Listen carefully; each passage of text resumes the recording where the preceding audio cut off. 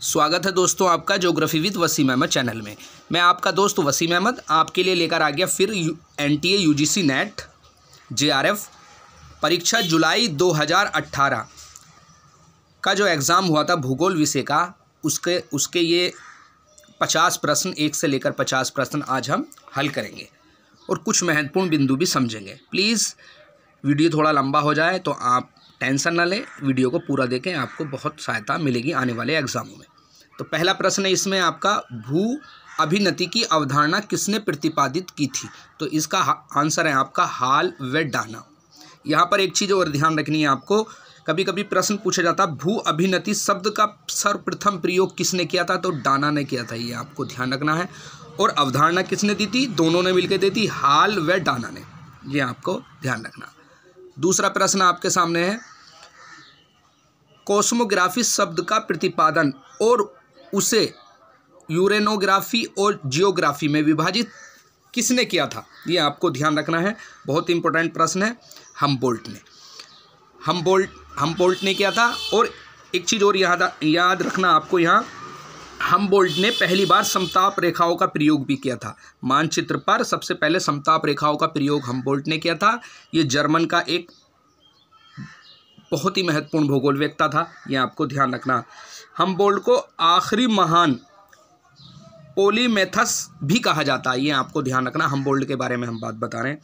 और एक चीज़ और याद रखनी है आपको। हम बोल्ट क्रमबद्ध अध्ययन को प्रधानता देता था। क्रमबद्ध भूगोल को प्रधानता दी हम बोल्ट ने।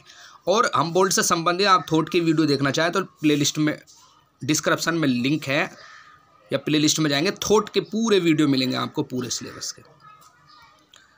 अब है आपका तीसरा प्रश्न। अवक्षेपण से संबंधित आइस क्रिस्टल सिद्धांत किसने प्रतिपादित किया था? तो ये याद रखना आपको, सी, बर्गरॉन ने प्रतिपादित किया था, बर्गे रॉन ने प्रतिपादित किया था। चौथा प्रश्न है, प्रवाल भित्ति से संबंधित निमज्जन सिद्धांत, किसने प्रतिपादित किया था? आपको ध्यान रखना बहुत ही इंपॉर्टेंट प्रश्न है आपके लिए। तो ये क्या था आपका? डार्विन ने किया था। किसने किया था? डार्विन ने। ये अट्ठारह में इस सिद्धांत को इन्होंने दिया था। आगे देखते हैं हम। पांचवा प्रश्न, गुटेनबर्ग असंतता किसके बीच पाई जाती है? घनत्व संबंधी जो पृथ्वी की परतें हैं, उसमें गुटेनबर्ग असंबद्धता किसके बीच पाई जाती है, याद रखना है। और बहुत ही इंपॉर्टेंट प्रश्न है आपके लिए तो ये प्रवार और क्रोड मतलब प्रपटी और क्रोड के बीच पाई जाती है, याद रखना। प्रवार और क्रोड, प्रवार का मतलब है आपका मेंटिल और क्रोड। मेंटिल और क्रोड के बीच ये गुटेनबर असंबद्धता पाई जाती है। आगे देखते हैं हम। नदी समतल की अवधारणा किसने प्रतिपादित की थी? याद रखना, नदी समतल मतलब नदी समतल मतलब पैनी, पैन प्लेन। ये पिछले पेपर में भी मैंने जो सोल्व कराया था, उसमें भी आया था ये प्रश्न। यहाँ पर नदी समतल, इसको हम पैन प्लेन भी कह सकते हैं, याद रखना ये किसने दी थी? आपकी क्रिक में नदी थी। ये आपको ध्यान रखना। सातवां प्रश्न है आपके सामने। आन, आनत शैल स्तर पर क्षेत्रीय रेखा की दिशा को क्या कहा जाता? तो इसको कहा जाता है नति लंब ये आपको ध्यान रखना है। अगला प्रश्न है, आठवां प्रश्न आपके सामने। अंत समुद्री कैनियन के उद्गम पर आविलता, आविलाता धारा सिद्धांत का प्रतिपादन किसने किया था? ये आठवां प्रश्न आपके सामने है तो ये किसने किया था? आपको ध्यान रखना, डेली ने किया था। नौवा प्रश्न बहुत इंपॉर्टेंट कई बार आ चुका, टीजीटी, पीजीटी में भी। हायर एजुकेशन में भी कई बार प्रश्न आ चुका है और ग्रेड फ़र्स्ट और सेकंड में भी आ चुका है। पे, पैटरनास्टर झील क्या है? तो ये हिमानियों हिम नदियों सोपानों पर निर्मित होने वाली झील है ये ध्यान रखना। और इसके बारे में थोड़ा सा हम समझ लेते हैं। ये हिमा हिम सोपानों पर बनती है। हिम के जो सोपान होते हैं सीढ़ी नुमा आकृति हिम सोपान वहाँ पर बनती है अपर्दन आकृति। और इन सोपानों के बीच में कुछ छोटी छोटी झीलों का निर्माण होता है, जिसे पेटानास्टर झील कहते हैं, ये ध्यान रखना।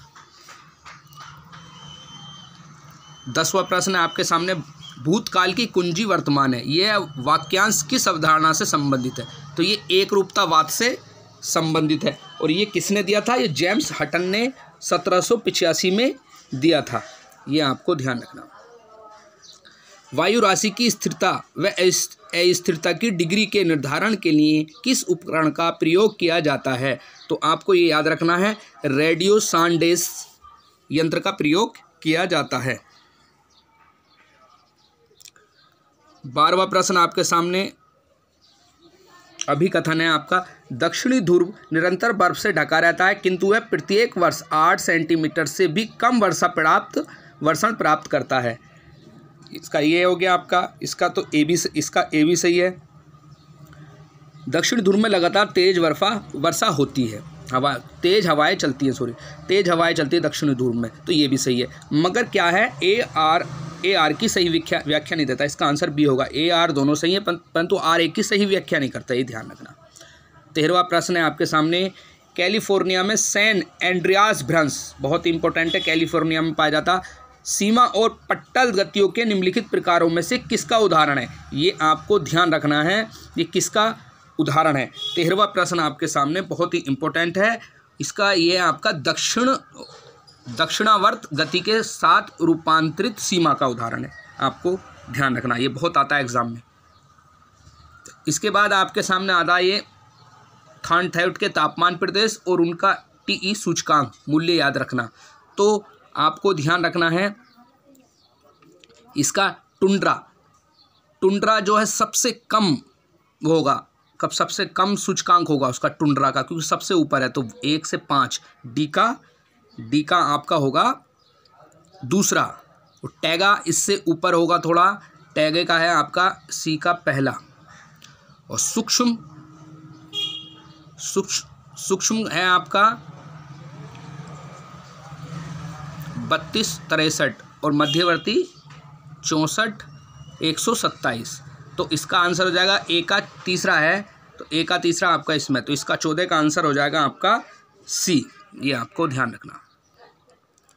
इसके बाद अगला प्रश्न है, निम्नलिखित में से कौन सा अक्षांश कर्क प्रशांत मंडल कहलाता? आपको याद रखना है, बहुत इंपॉर्टेंट है आपका, कर्क प्रशांत कहा जाता। है तो 25 डिग्री नॉर्थ 25 डिग्री नॉर्थ कहा जाता है, ये आपको ध्यान रखना। फिर आपको जोड़ा मिलाना है आपका। उपकरण का नाम और मापे गए तत्व का नाम। तो याद रखना आपको, पिक्नोमीटर से क्या मापा जाता है मिट्टी का घनत्व नापा जाता है। और स्पेक्ट्रोमीटर से आपका विकरण ऊर्जा मापी जाती है। और साइक्रोमीटर से तो ये डी का आपका दूसरा आ रहा है। डी का दूसरा किसमें इसमें। तो ये पहला सही हो जाएगा। सोलह का आंसर आपका है सोलह का आंसर है बी, सॉरी। सोलह का बी आंसर होगा। पहले का आपका तीसरा हो जाएगा। साइक्रोमीटर से सापेक्षिक आर्द्रता और पेडीमीटर से दूरी नापी जाती है। तो इसका आंसर होगा आपका बी। ये आपको ध्यान रखना।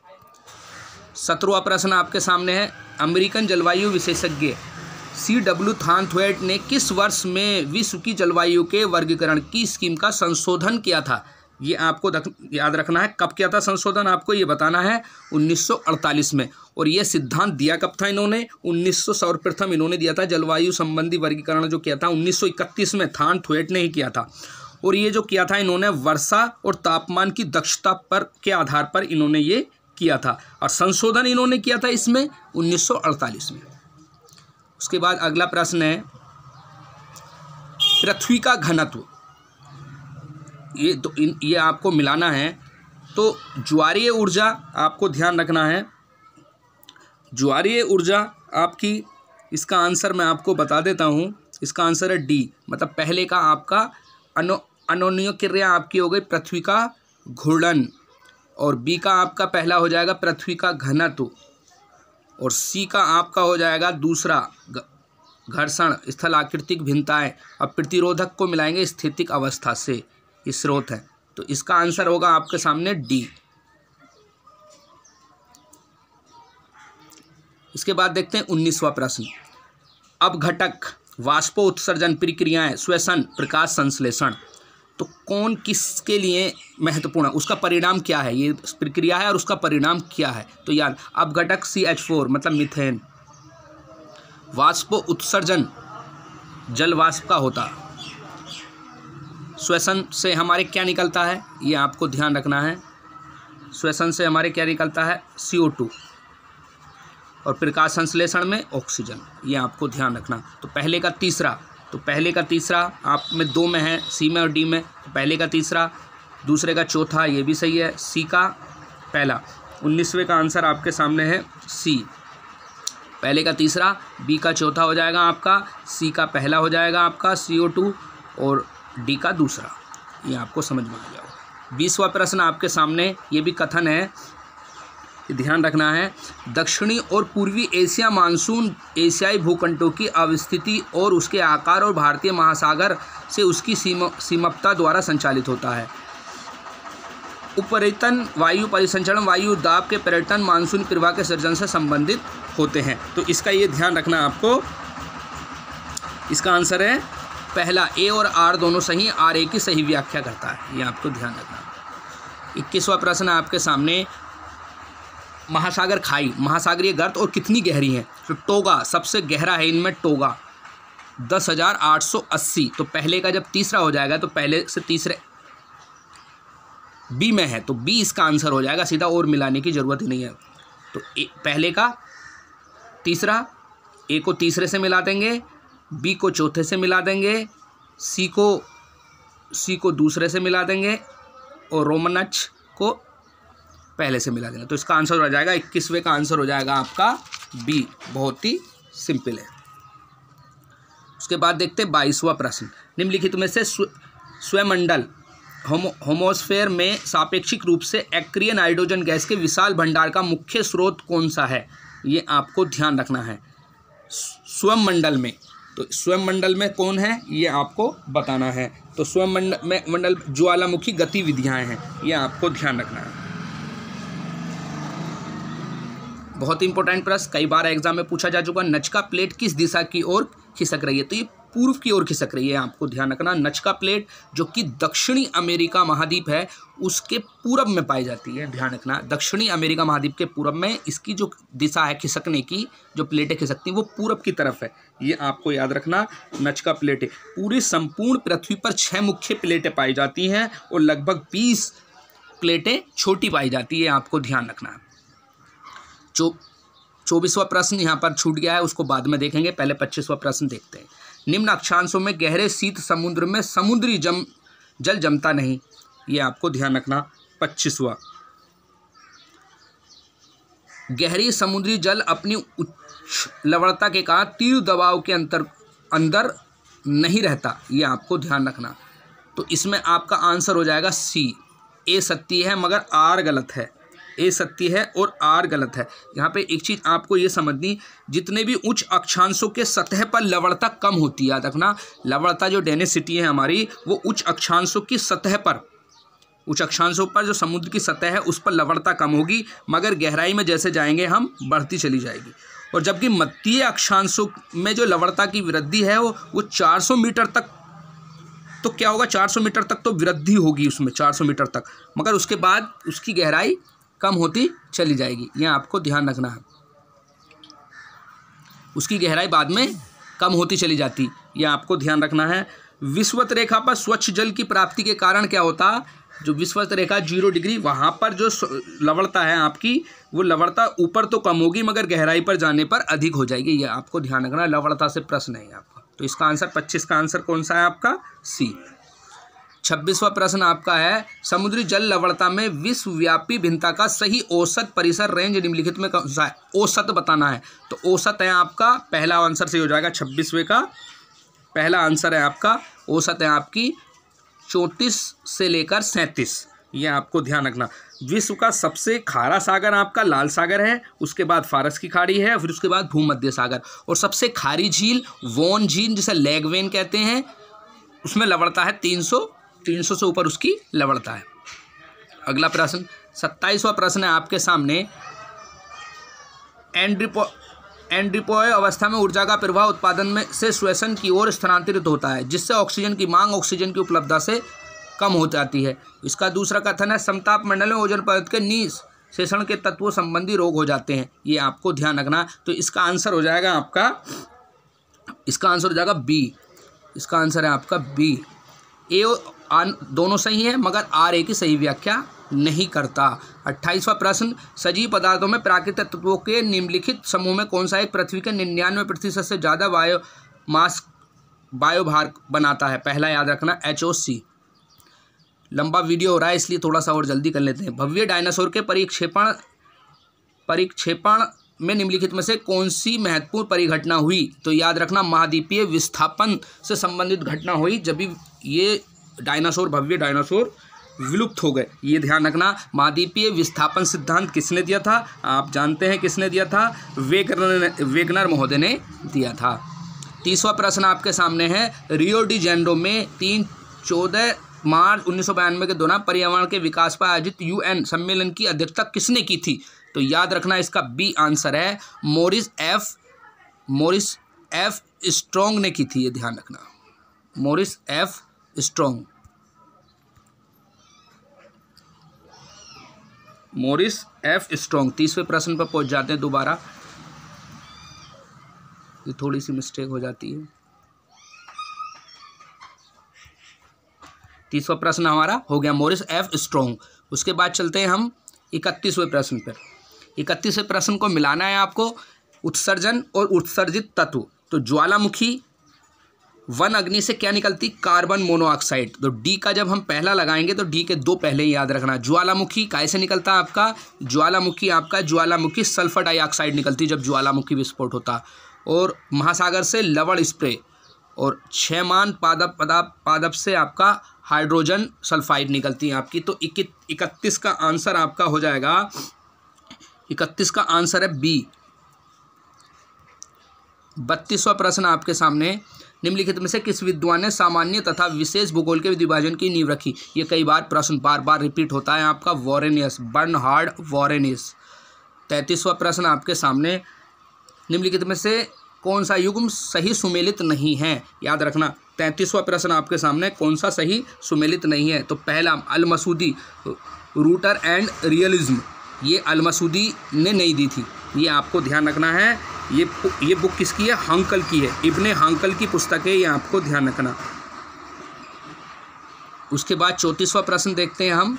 हाइड्रोलिक स्लोप थ्योरी किसने प्रतिपादित की थी? ये आपको ध्यान रखना। R A Horton. ये आप पहला आंसर है इसका। पैंतीसवा प्रश्न, निम्नलिखित में से किस विद्वान ने भूगोल में व्यवहार परक दृष्टिकोण पर दृष्टिकोण पर ज़ोर दिया था। ये आपको ध्यान रखना है। ये ज़ोर किसने दिया था आपका? इसका आंसर है जॉन्सटन ने। यह आपको ध्यान रखना। इसके बाद आगे देखते हैं हम। छत्तीसवा प्रश्न। ये हमें क्रम से पहचानने जर्मन भूगोल व्यक्ताओं का सही अनुक्रम बताना आपको। इनका सही अनुक्रम है आपका सी। पहले पेस्चल आया था, फिर रेडजेल, फिर एटनर, फिर टॉल। ये आपको ध्यान रखना। आगे देखते हैं हम रहन सहन के विभिन्न तरीकों और विभिन्न संस्कृतियों के लोगों के लिए एक ही परिमाण भिन्न अर्थ रखता है। यह कथन निम्न संकल्प, संकल्पनाओं में से किससे संबंधित है? ये संभववाद, संभव्यवाद से संबंधित है। सैंतीसवें का आपका आंसर हो जाएगा सी उसके बाद अड़तीसवा प्रश्न देखते हैं। संभववाद का विचार सर्वप्रथम किस विचारधारा के पंथ से विकसित किया गया? तो याद आप जानते फ्रेंच पथ से, फ्रांसीसी भूगोल वक्ताओं द्वारा। फिर उसके बाद समझ, भौगोलिक प्रगति का मुख्य विषय पार्थिक एकता का है। इस कथन का श्रेय किससे दिया जाता है? यहाँ आपको याद रखना, विडाल डीला बिलास को दिया जाता। है विडाल डीला बिलास, उनतालीस का आपका आंसर हो जाएगा बी।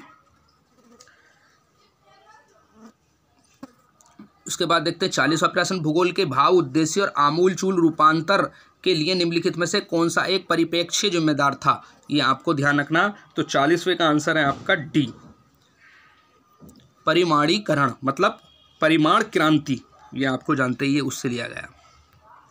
इकतालीसवा प्रश्न आपके सामने है। 2011 की जनगणना के अनुसार भारत के निम्नलिखित राज्यों में से किस राज्य में न्यूनतम अनुपात दर्ज किया गया? न्यूनतम लिंग अनुपात दर्ज किया गया। इनमें बताना आपको तो इकतालीस का आंसर है आपका, इनमें बताना है। सी, इसमें सी है आपका, पश्चिम बंगाल में। सही है? पहले नंबर पर सबसे कम दर्ज किया गया हरियाणा में, फिर जम्मू कश्मीर में, फिर सिक्किम में और फिर पंजाब में, फिर उत्तर प्रदेश में। उत्तर प्रदेश में नौ सौ बारह है, आपको याद रखना। लिंग अनुपात नौ सौ बारह, ये आपको ध्यान रखना है। और सबसे ज़्यादा केरल में। उसके बाद देखते हैं हम। U N demographic year book दस, दो हज़ार दस के अनुसार किस देश के उच्चतम जनसंख्या घनत्व प्रत्येक वर्ग किलोमीटर दर्ज किया गया। तो इसमें बांग्लादेश है, आपको ध्यान रखना। और संपूर्ण विश्व में अगर जो आ जाता है तो आपका कौन हो जाएगा? मकाऊ। मकाऊ और सिंगापुर, ये आपको ध्यान रखना। ईयर बुक दो हज़ार के अनुसार, इसमें इन चारों में विकल्प में बांग्लादेश। तैंतालीसवा प्रश्न आपके सामने है, बहुत ही इंपॉर्टेंट है। निम्नलिखित में कौन सा एक कथन केंद्रीय स्थान सिद्धांत की प्रभावी सीमा चिन्हित करता है? तो इसका आंसर मैं सीधा बता देता हूँ आपको। सी, सेवा का समर्थन करने के लोगों को आवश्यक संख्या। चवालीसवा प्रश्न आपके सामने है। निम्नलिखित में से किस राज्य के समूह ने 2011 की जनगणना के 950 से अधिक लिंग अनुपात दर्ज किया गया? 950 से अधिक लिंग अनुपात दर्ज किया गया। तो आपको याद रखना, पहले नंबर पर आंध्र प्रदेश, दूसरा उड़ीसा, फिर तेलंगाना। तो या, इसका पहला आंसर हो जाएगा। और सर्वाधिक लिंग अनुपात आप जानते हैं कहाँ पर है? केरल में सबसे कम हरियाणा में। नीचे दिए गए आरेख द्वारा निम्नलिखित में किस मॉडल की व्याख्या व्याख्या होती है। याद रखना, केंद्रीय स्थल मॉडल ये मैंने पहले ही बताया था कई बार एग्जामों में प्रश्न पूछा जा चुका। ये आपकी क्रिस्टालर के सिद्धांत से लिया गया। आपका क्रिस्टालर ने दिया था केंद्रीय स्थान मॉडल 1933 में। ये आपको ध्यान रखना। उसके बाद देखते हैं हम। ये आरेख है, इसका सीधा आंसर मैं आपको बता देता हूँ। नीचे दिखा आरेख वक्र द्वारा शहर के बीच जनसंख्या वितरण का पैटर्न निम्नलिखित में से किस, कौन सा कूट सही चिन्हांकित होता है? याद रखना। तो इसमें छत्तीस सॉरी छियालीस का जो आंसर है, सी है। द्विखंडी। सैंतालीसवा प्रश्न को मिलाना है, ये बहुत आसान है। इसको जोड़ा मिलाएँगे हम। बस्ती सम आरेख है, ये बस्ती पैटर्न है, याद रखना है आपको। रेखीय आरेख, ये आपका इससे रेखीय बन जाएगा और ये आपका गुच्छित बन जाएगा, ये तारानुमा बन जाएगा और ये बन जाएगा सम। तो सैंतालीस का जो आंसर होगा, वो आपका, देखते हैं, सैंतालीस का बैठेगा आपका बी। अड़तालीसवा प्रश्न है आपके सामने। गुरुत्वाकर्षण मॉडल के अनुसार अवस्थिति पर सेवा का विभव उपयोग निम्नलिखित में कौन सा कथन इंगित करता है? तो अड़तालीस का मैं आंसर आपको बता देता हूँ। आप चारों विकल्प पढ़ लेंगे। इसका सी आंसर है जनसंख्या के आकार के साथ प्रत्यक्ष संबंध और दूरी के साथ प्रतिलोमन। उनचासवा प्रश्न आपके सामने। ये जोड़ा मिलाना है आपको। इसका सीधा मैं आंसर आपको बता देता हूँ। गोहाट कौन थे आपके? गोहाट को मिलाएँगे आपका दूसरे से, पहले को दूसरे से मिला लेंगे और दूसरे को मिला लेंगे आपके पहले से और सी मिलाएँगे आपका सी मिलाएँगे आपका सी का तीसरे से ही और डी को चौथे से ही। तो इसका आंसर हो जाएगा, उनचास का आंसर हो जाएगा बी पचासवा प्रश्न। भारत के, भारत में राज्यों के किस समूह में 2011 की जनगणना के अनुसार देश की कुल जनसंख्या का एक चौथाई से अधिक जनसंख्या दर्ज की गई। एक चौथाई से ज़्यादा जनसंख्या दर्ज की गई थी 2011 की जनगणना के अनुसार। तो इसका आंसर हो जाएगा आपका बी, उत्तर प्रदेश, मध्य प्रदेश और कर्नाटक। उत्तर प्रदेश, मध्य प्रदेश और कर्नाटक। यहाँ पे एक चीज़ और ध्यान रखनी है 2011 की जनगणना के अनुसार सबसे अधिक जनसंख्या रखने वाला प्रदेश कौन सा है आपका? टोटल प्रदेशों में उत्तर प्रदेश, दूसरे नंबर पर महाराष्ट्र, तीसरे पर बिहार, चौथे पर पश्चिम बंगाल। ये आपको ध्यान रखना, पहले पर उत्तर प्रदेश में जनसंख्या, दूसरे में महाराष्ट्र, तीसरे पर बिहार, चौथे पर पश्चिम बंगाल। इन विकल्पों में जो है, आपका उत्तर प्रदेश, मध्य प्रदेश और कर्नाटक इसका आंसर है। अब एक प्रश्न हमारा छूट गया था, चौबीसवा जो पीछे रह गया था, उसको यहाँ देख लेते हैं। भूमि के समुद्र तल वेलांचल में निम्नलिखित निम्नलिखित अनुक्रमों में से कौन सा सही है? तो चौबीसवें का आंसर मैं आपको बता देता हूँ। चौबीस का आंसर है आपका। चौबीस का आंसर है आपका पहला। पश्चतट अग्रतट, निकटतट, अपतट। तो ये बहुत इंपॉर्टेंट वीडियो आपके लिए। प्लीज़ आप चैनल को सब्सक्राइब कर दें शेयर कर दें। मिलते हैं हम अगले वीडियो में, जिसमें हम पढ़ेंगे पचा इक्यावन से लेकर सौ क्वेश्चन जुलाई 2018 में जो एग्ज़ाम हुआ था, उसके।